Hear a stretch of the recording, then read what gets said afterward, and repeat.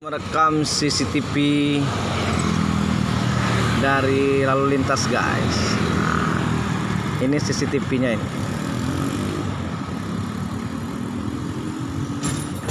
CCTV lampu lalu lintas.